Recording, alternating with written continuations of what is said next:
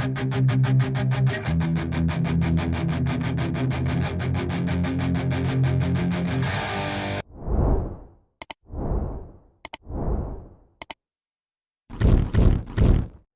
and welcome back to the David67 Celtic News YouTube channel. This is going to be our video exclusively about the Celtic women's side, the Celtic girls, and therefore nothing win yesterday in Aberdeen. So, for those who don't follow the girls, just a wee bit of advance warning this is solely about the women's side. Celtic uh, went up to Aberdeen for an away game in the rain and wind of Aberdeen. Uh, it was one o'clock kickoff, and it was in rather uh, stormy, wet, slippy, windy conditions, and that made ball control, shooting, and general passing all very difficult. And um, the Celtic side in the end came out as four nothing winners.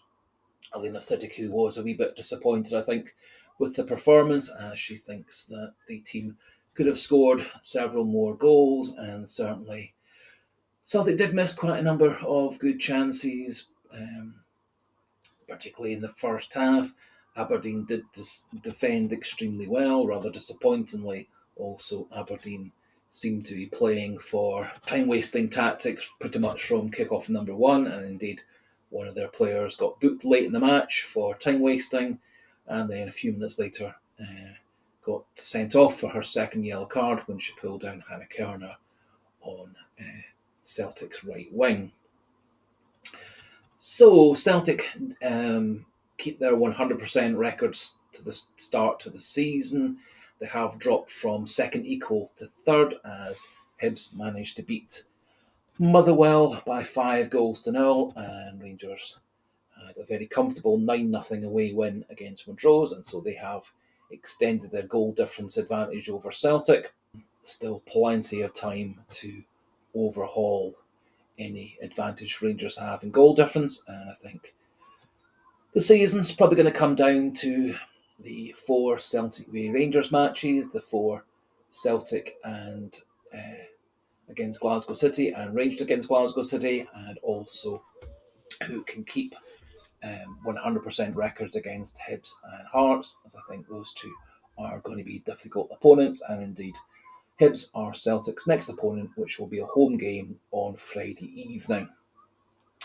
So, Celtic did score four goals in the end, and I'm just going to pop those highlights in in a wee minute or two, but in essence, Murphy Agnew scored a nice header in around about the fourth minute, lovely cross by Maria McAneny, and she had a wonderful glancing header, powerfully past the hit the Aberdeen goalkeeper. A lovely cross by Jenny Smith around about the 21st minute, and Amy Gallacher had a sliding back post finish from around about the six yard line to put us 2 0 up, which we kept till half time. Shortly after half time, the 48th minute, Jenny Smith had a cross come shot, then got blown in by the wind at the goalkeeper's back post to put us 3 0 up.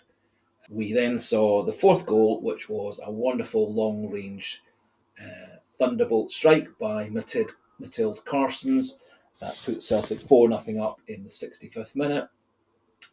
Uh, we then saw the return from long term injury, of Kit Loferski, who had a lively game up front. Um, Celtic did manage to score a fifth goal, which was rather confusingly disallowed by the referee and the assistant referee. Um, it was said to be that Loferski was offside and obstructing the goalkeeper. Um, however, um, the goalkeeper was nowhere near Kit Loferski. Kit Loferski simply ushered the ball over the line with an Aberdeen defender a few yards behind her. And so I guess the message from the assistant referee and the referee was that Kit Loferski was obstructing the Aberdeen defender from clearing the ball, which uh, would have made her in an offside position potentially. However, no crying over spilt milk. The referee and assistant referee disallowed the goal, and there is no VAR in the SWPL at the moment, and so the disallowed goal stood.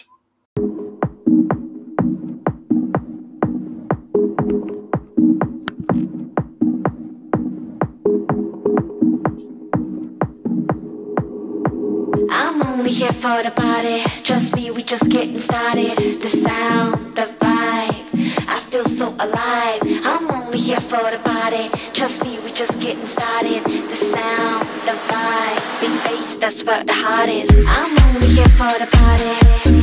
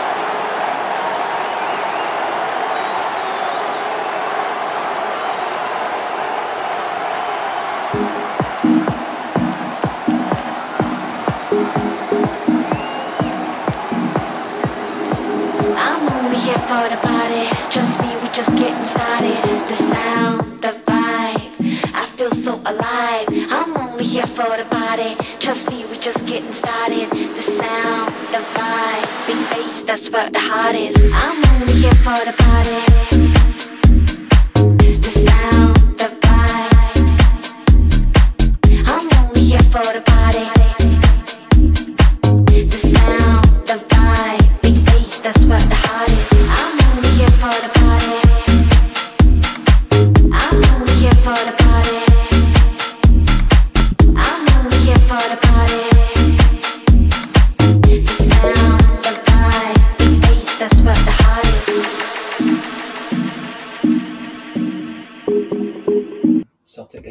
Made a number of changes to the side, and Celtic do look a wee bit like they're still not quite sure who their best 11 players are.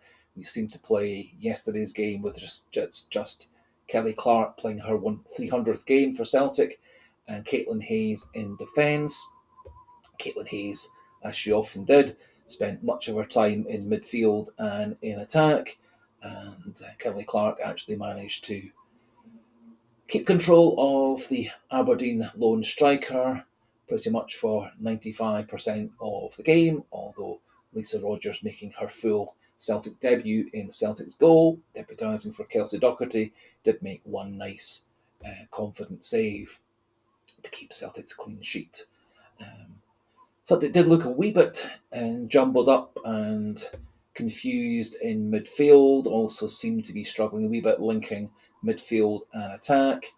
Um, Noonan missed a couple of good chances also, and she was one of three players taken off at half time, with Natalie Ross, Hannah Kerner, and Mathilde Carstens coming on for Maria McAneny, Lucy Ashworth Clifford, and the aforementioned Saoirse Noonan. Uh, later on, Shannon McGregor also came into midfield, which I think did improve things a wee bit.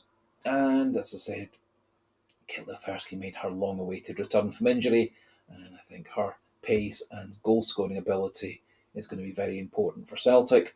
I think Celtic do need to make a decision as to who is best to be in that linking position between midfield and attack. Is it Mathilde Carstens? Is it um, Amy Gallacher? Is it Murphy Agnew? And just who are Celtic going to play up front? Uh, is it going to be Amy Gallacher, Murphy Agnew, Kit Loferski, Saoirse Noonan, or a rotation of those ones? I personally would like to see as a starting lineup um, Amy Gallacher and Kit Loferski as a partnership with Mathilde Carstens in the um, attacking midfield space behind them. But we'll see what and Elena Sadiku comes up with for the game against Hibs on Friday. And then we'll have soon after the Champions League qualifiers, and then after that we'll have the first of what could be very important games between Celtic and Rangers women's sides. So, just a wee recap of the stats for the game. As I say, Celtic won 4 0. Uh, Celtic had 79% of the possession to 21, an amazing 30 shots to 5 for Aberdeen, 14 on target by Celtic to 1 by Aberdeen, uh, 9 off targets by Celtic, 4 off targets by Aberdeen.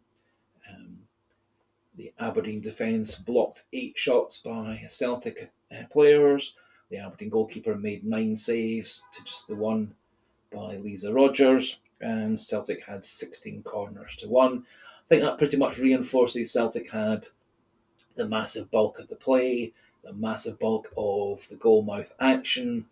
They had lots of shots, some on target, some blocked, and some very well saved by the Aberdeen goalkeeper, who kept the score down very well. And 16 corners to one again shows the massive dominance Celtic had. And my personal feeling is um, with that level of possession, that number of shots on goal, it's going to click very soon, and Celtic will start getting back to their goal scoring great exploits of last season. And what's more, I think Celtic uh, do have good depth in their squad, lots of players who can come off the bench and make a difference, and I think that could well be the key to Celtic winning. Um, the league again and winning in the cups also over Rangers and Glasgow and the others uh, because Celtic are going to have the squad depth to cope with fatigue, injury, loss of form, and the vagaries of the, the winter weather in Scotland and a rather long women's season also in Scotland and for Celtic hopefully lengthened by several games in the Champions League if we can get through rounds one and two of the qualifiers. So that just about finishes things off for today's uh, Celtic Women's Side edition. If you do like um, the channel, like these videos, like the coverage of the women's side, please do click that subscribe button if you're not already subscribed. Please click the like button uh, also, and comment section open in this scenario for Comments on the Aberdeen match, who played well, who didn't play so well, any changes you'd like to see Elena Sadiku make to the team over the next few weeks. So for today, thanks for watching, thanks for listening, a goodbye, and hail, hail.